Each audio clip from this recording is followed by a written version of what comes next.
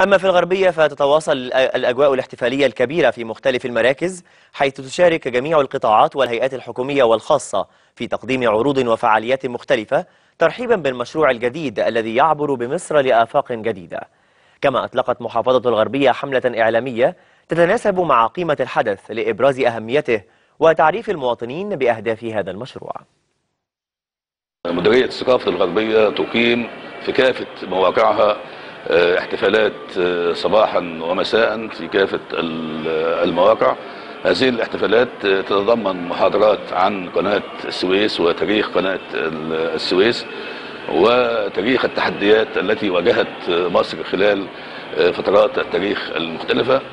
تتناول أيضا جانب احتفالي من خلال عروض الفنون فرق الفنون الشعبية وفرق الموسيقى العربية وكافة الفرق الموجودة والمنتشرة في مواقع ثقافة الغربية. الحقيقة إحنا بدأنا منذ الأمس في إدارتي زفته وإدارة السلطه بتنفيذ هذا البرنامج، البرنامج ده عبارة عن كان عبارة عن ماراثون للشباب في السلطه وبعدين حفل فني وشعبي وعروض رياضية.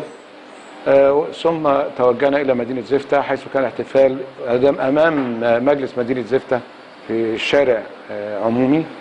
والحقيقة كانت فقرات فنية متميزة وعروض من العروض بتاعت الشباب اللي بتعبر عن الفرحة الغامرة. يعتبر عيد لكل مصري وفخر لكل مصري افتتاح قناة السويس الجديدة. اللي هي بتعتبر أنا يعني أنا بعتبرها مشروع الأجيال. وده يعني إن شاء الله بإذن الله كقناة هي إدتنا فرصة للتحدي حاجتين. تحدي الوقت والزمن بالنسبة لينا. مشروع جميل وهيفتح فرص عمل وهيخلق فرص عمل للشباب و... والحمد لله هديه مصر للعالم. وربنا يحفظ الرئيس السيسي بتاعنا. وفي مشروع تاني هيبدأ فيه من الجمعة الجاية بتاع بورسعيد وشرق العوينات و... ومن الغربية نعود